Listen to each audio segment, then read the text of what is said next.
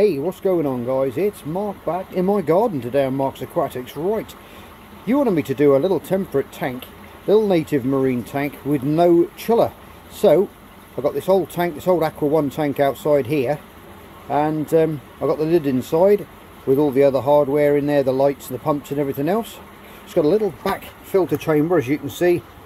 It's got all the old media in it. It's one of my old breeding tanks. So, I'm going to clean this out and then we can get it set up. Yes, I came outside and I thought, well, what can I do? I thought, I know, well, I was cleaning out my koi pond filter. You see that water going around, just doing a bit of a back drain on there. That's the internal filtration. That's the external filtration. Biological action there. And then that bit in the middle there, that's where it catches all the rubbish in there first before it goes in. It's like a pre-filter to the biological side of the filter there. Just cleaning that out. Some monstrous big valves and things down there. Here's the pond. My little ace is just coming out as well. Look at that. Absolutely stunning. Here's the fish, a little bit moody. Hello, Mr. Mr. Dragon. He's beautiful, he is. Lovely with trailing fins. Here's the other guys coming out to say hello. Turn the pump off, they know it's filter cleaning time. Right, let's get my filter cleaned out and then we can clean this little tank out. Right, that's the koi filter chores done. Got a nice little bucket of water there just out of my pond and here's that little tank. Now it's got a little rear chamber filtration on this one. Which as the water gets drawn through there, goes down there through the separate boxes and then gets returned to the tank via that little duckbill there and that keeps it circulating around which is a, a, nice thing because you can put all your bits and bobs your media and everything. Obviously if it was if it was warm water you'd have the heater in the back of there and everything. Comes with a nice little lid which is inside which just fits in there like that. And then so what I'm going to do is I was just going to chuck this bucket of water in there. Sorry guys but I'm not, I'm not one of these big channels that's got all the flashy expensive stuff. So we make do with what we've got so that's what we've got to do. Just going to rub that up the side there, get some of that old stuff off. Give it a good old scrub out, make it look nice. Get a little scrubber in there. Here's a couple. There's one. So it's basically just get the water. Be careful not to pick the stones up. Just squeeze some water into the sponge now you know how to clean tanks out. I'm not going to take you through all this carry on. I'll do all the hard work. There you go. So we're going to scrub this little guy out, make it look all nice. And then we'll get it in the workshop and I'll show you it with the light on, okay? Aha, there you go. Bit of the old elbow grease. And we're back in business. Lovely and clean. Now with these guys, they've got a nice little lid so the condensation is going to be kept in it's got a nice little dual light in there. It's got an actinic blue and the normal white light as well, which you can, which is going to show your corals up nice in the evening time. Little on-off switch on the top, up there. Little Aqua One tanks these are. I've had this for a long, long time. Been breeding, I've bred many fish in this tank. Just thought to chuck my little sign in there because I knew it would glow up under the blue. There's the other tank over there. So this one's going to take pride of place on the bench as well. So we're going to fill it up with water and then we're going to put some sponge. What I will say is as well guys, in the back, as I said earlier, it's a rear filtration system, okay? Water goes in on the left hand side, goes through that filter boxes at the back which you put sponges in. You can put bits of live rock in there from the beach if you want to aid in filtration because it'll have bacteria already on it. So this is a good little idea to put some little stones in the back, some porous ones if you can find them. Um, that'll speed up your uh, your cycling process. But I thought this might happen and so what I've been doing is I've been cycling some filters in here, some sponges which I can fit to size and put into the other aquarium you see. I run this tank a little bit quieter, a little bit lower on temperature and um, so we got all these to cut to fit in there. Now if you haven't got this you're going to have to go through the, the cycling process as usual. There's all kinds of stuff swimming around in there, look, little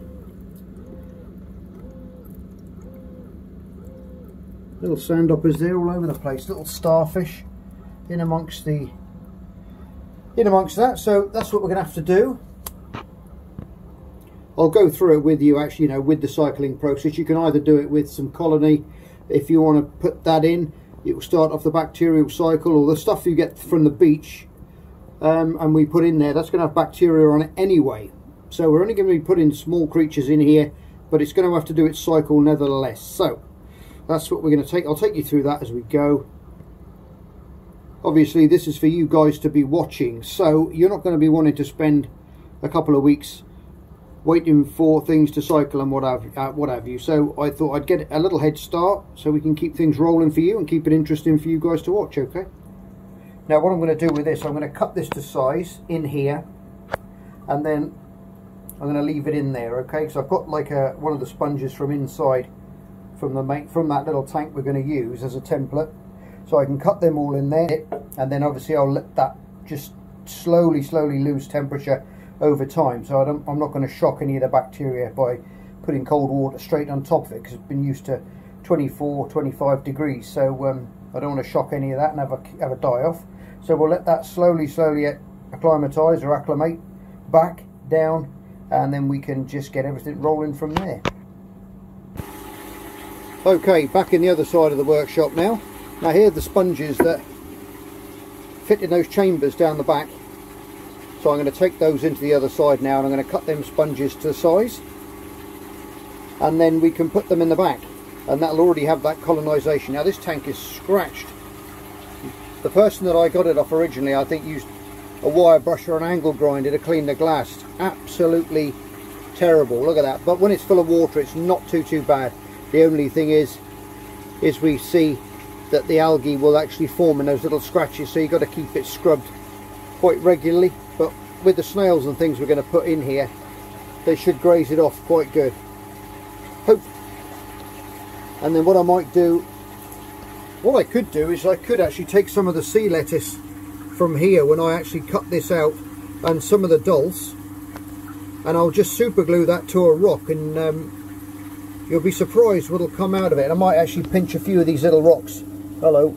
I might pinch a few of these little rocks from down here and put them in this tank as well because there's nothing special on them apart from a little bit of coralline algae and some more little weed bits down here and maybe that bit of dulse. So we haven't got to take anything else from the wild. We can just take we can use what we've got in here actually and just move a little bit of it over. There's only those it's only the dulse and the main weeds and things which we can leave on those big rocks at the back. So we're going to use stuff but we'll get into that as we go. It's great fun. I love all this yeah like I said very scratched up but it'll do and we can we can learn from this. Like I say you can go back and you can, you can go buy yourself a brand new tank if you like. If you can't find a second-hand one anywhere it's can well, it's entirely up to you really. I'm just trying to give you the knowledge so you can go forward in. I get so many questions saying oh I really don't know if I can do this. Give it a go. It's not as hard as you as it looks and that's why I'm going to take you through this okay as we go it's only going to be very very shallow warm water pool stuff we're going to put in there so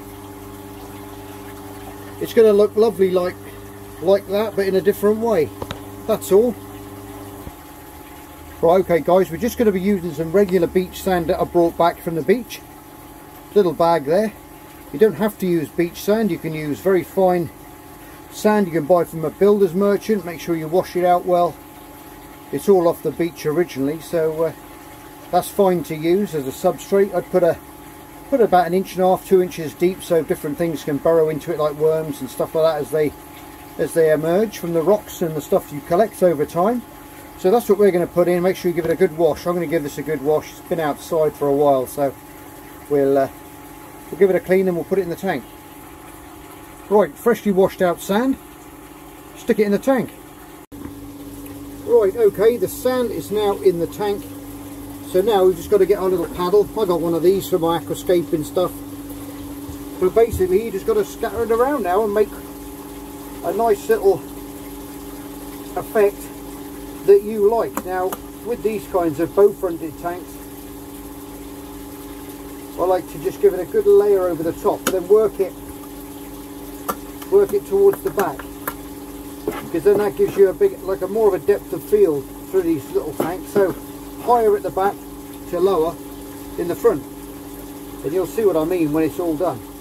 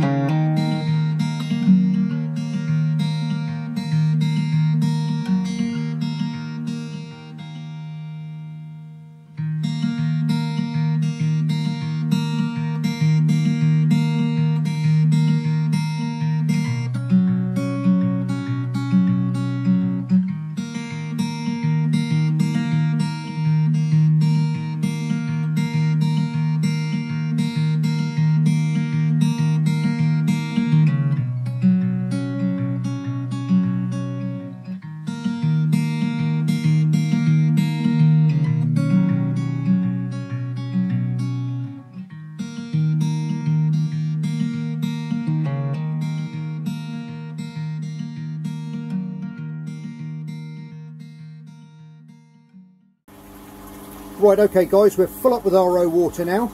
So all I'm going to do now is I'm going to add some salt.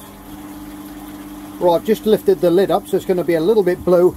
But I'm going to put in three of those cups of salt that you see me put in on the last ones, okay? They come with the salt. I'm just going to sprinkle that in. There's nothing in there at the moment. So it's not going to worry anything. It's just going to settle on the sand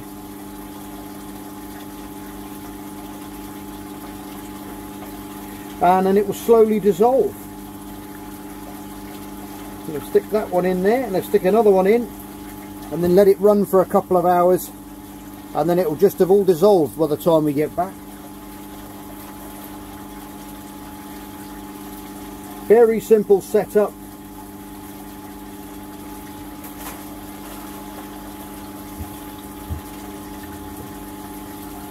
And obviously we haven't filled the tank right up yet because we're going to have water displacement when we put the stones in.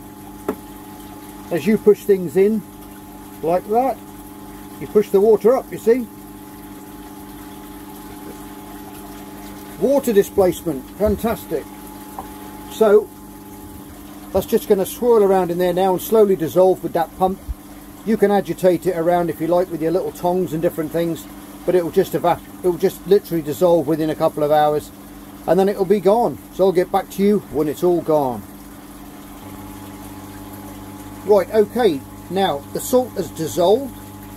I've had my little salt uh, salinity checker there. Little oh now I can show you out of the way now. Gonna have to get one of these little guys okay? It's called a refractometer or you can use one of the other ones that you dip in the water. And um, but they're not I find not as accurate as these okay? So it's, it's, best to get one. They're only about 10 10 quid something like that. So pretty cheap to buy. If you saw the other video on the big tank where I did a water change you just put a couple of drops of water on that glass close that lid you look through the eyepiece and you'll see the scale on there and you want 0.026 or 35 parts per thousand on the other scale on the right hand side okay? Anyway the salt is now in the tank. Giving that a quick wipe down. A little bit cloudy in there because of the buffers and things that are in the water but they will soon clear up okay? So now we're just going to let that sit for a while now and let that chug away let that filter take it through the back there. Now I've put the sponges in the back as well okay? Those pre-seeded sponges from my coral room. They're in the back so that's going to aid up a little bit of speed. And also we're going to take some other little bits from the the main marine tank the big one over there just to seed that with some little bits of weed couple of little bits of rocks and things like that okay? Which aren't going to come to any harm because I can always pick up other bits when I go down the beach as well. But what I have got outside is a lot of old sea rocks that I've had for many many years now and they've been sat out in the garden. There's some quite nice shapes, so what I might do is grab some of those and put them in there and see how they go. Because there's no point taking from the beach when you don't have to. So I've got a lot of stuff out here so I'll just reuse some of the stuff that I've taken on previous forages. Right there's a couple of rocks from out the garden. Now they look quite nice. Quite a thin one but it looks like it looks like the moon on there. So I might actually put that one flat down in the tank and maybe that one upright in a corner because it's got a bit of a bit of a triangular edge to it there so I might go up the side with that and have maybe the back wall with some different weeds on and different things. You can still see the old barnacles on this piece here from many, many years ago. They're still on there. So what I'm going to do is, I think I'm just going to play around with that for a little bit and um, see where I can put things. And we'll go from there, I think. Right, I've got the rocks in. We've got that lovely big flat plate going across there. Lots of air obviously coming out the rock because it's been outside for a long long time as with that piece at the back as well now I actually got these pieces off a of rest bay well a few years back now and I always thought I'd keep hold of them because they were nice pieces and it just looks like I just thought it just looks really nice like that I think with that nice bit across that little bit of sand at the base there lots of holes around the back for little shrimps and little fish to hide obviously it's a bit murky now bit of detritus on the rocks and things. I gave them a quick rinse off and um, and they're in there now. So uh, now we've got to leave it for a while to self-seed itself. I'm going to drop a little bit of um, shrimp in there like I normally do. So that's going to start to rot down and to create that nitrogen cycle. But we've got a bit of a nitrogen cycle already happening in there because of that pre-seeded filter from my coral room which is in the back. So we've got a bit of bacteria in there already. Um, you could also add a little jar of bottle of colony as well if you like. A lot of people do it when they first add fish. Um, you can do that if you like um, because then that's going to put a lot of bac bacteria into that water so when those fish start producing waste it's going to it's going to attack that straight away okay or you can buy these little bio balls that you can put in the back as well. I've got a few of those. I might throw a few of those in the back as well just to help things go along. These tanks I think are the best to get. I mean you can get an obviously you can get an, all glass tank but I love the fact that the filtration is all built into these. So it's a desktop. You've got no filters canisters to worry about internal filters to that look absolutely unsightly and horrible in my opinion I know everyone's got a budget and I know everyone can't afford these things but you can pick these little Aqua One tanks up or a Kent setup. It's got the marine lights already in it. It's got everything you need. It's a plug-in and play. That's why I go for this because if you try and get all the bits separately it's up to you. I'm not saying you have to do it this way. If you've got a bit you know if you've got deeper pockets and you fancy shelling out a little bit more and buying another tank or getting a tank built or whatever and following these videos along you can either go down the chiller route which is this one over here or you can go this one here right okay guys we've got the all the rocks in. I've got them how I want them to be. I can see the end result already in my mind. I've got all that um, sorted out where I'm going to put the weed, where I'm going to put other little bits. We've got a nice little area of beach at the front there. If we put any tiny little things in there that can go like the sand. Now, this tank is quite a blue tank. It's a marine tank. Um, it's an Aqua one I think or a Kent. I can't remember. It's got no markings on it but it's one or the other. But obviously I've got the darker sand in there see? So it makes it look quite dark. When you look at the other tank it looks bright. Now I've got super bright lights over the top of that and a lot of it because of the weed that I'm growing. This tank's going to be more your budget type without a heater that you can put in your house and you're going to have a thriving little rock pool within the house okay where temperatures can get up to, you know, the higher sort of end of the 20s degrees Celsius. So um, you can put coral sand in there as well. If you want to brighten the tank up, I put coral sand in this one. And if you, I'm going to leave this one the way it is with the darker sand. And what I'm going to do is just put, like I say, the weeds and different things everywhere. Well, you'll see it progress as we go along and when we forage for certain and different bits for it. But like I said, you, you can put some coral sand in there, that'll brighten it right up. It's cloudy at the moment. When it goes super clear, we'll give that now a couple of days to settle in and um, and we'll go from there any questions guys just drop it in the comment section below and I'll get back to you you know that any questions at all um, but I think we've gone far enough on this on stage one. We've got the tank. We've cleaned the tank out. We've got it ready. We've added the salt. We've mixed that into the tank so you haven't got to worry about buckets in here and buckets there. Just chuck that salt straight in. It's a very very simple process. It's nowhere near as hard as people make it out to be. And just take things slow now. You've got that main body of water in there. You've got your substrate in there. You've got the rock work in there now you can just leave it.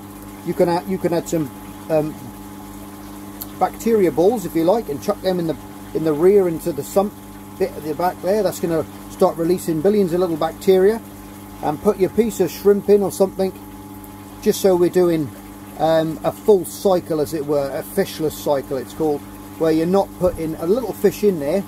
And of course then the ammonia is going to creep up as it does through the nitrogen cycle and burn its gills and most likely either kill it or injure it badly through ammonia burn to the gills okay? And we don't want to be doing that to fish. That's why it's super important guys when you're setting up a tank that you're not too hasty putting fish in okay? Um, people put colony in you can do that. It sort of works. You know you're adding a big amount of bacteria in and the fish produce the waste. I don't do it that way. Personally I like to just let wait for a couple of weeks let that prawn decay in there let it blow around. You can chuck some bio balls in the back. But that nitrogen cycle will take place. As soon as that bit of food starts to rot down in the sand your bacteria are going to grow. They're going to colonize. As that's rotting down releasing that ammonia they're going to build up and build up and build up. And then that ammonia will drop away. The more bacteria that is formed within the tank then the nitrite will be spiking after that. And then after that that'll drop and then your nitrate will go up. And that is what you've got to keep under control okay? This, you're going to have a little bit of nitrate and I would suggest like with the other tank having some nitrate in the tank for the weed to feed on because we're going to be putting weed in there and it's not like a coral reef where you want it to be all nice and lovely pink coralline algae. You want these algae to be centre of attention and to grow and to look lovely just like the other tank over there. So believe it or not that tank is going to look very similar to the first tank in a couple of weeks time. As you saw if you haven't watched the series on this tank pop back in my playlists and there's a whole section in there designated to this to that build okay? Because it's got the chiller on it it's got everything else on it. It's a little bit more advanced but this one is the one for you if you're new to it and you just want one for your house so I think we've gone far enough there on on day one um, to get this all together. Obviously I've done it a lot quicker. I've got the knowledge behind me to do this but take your time. It doesn't matter if you spend two weeks three weeks or a month setting the tank up to get to this stage okay? I just know the exact route and path to take to get where I want to be because I've been doing it for so long. So don't rush it. Don't think he did it in two minutes. I can do it in two minutes because you might do something different any questions always drop it in the comment section below and I'll answer you but now we've got the rock work in place releasing lots and lots of bubbles because that water's now soaking in and that air's coming out we've got the rock work where I want it I think it looks pretty awesome like that. I can see all sorts going on in there in a couple of weeks. And as always, you're all stars. Love you loads. Take care. And I'll see you on the next episode of Marks Aquatics. Hit that subscribe button, guys. And that notification bell if you like my little videos. And I'll see you on the next one. Bye for now.